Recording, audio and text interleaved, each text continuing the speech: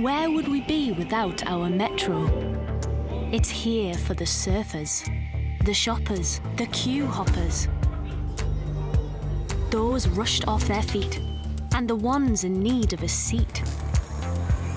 We're here for the prams, avoiding jams, and those running for their mams. Rain or shine, sleet or snow, 60 iconic beacons with a reassuring glow.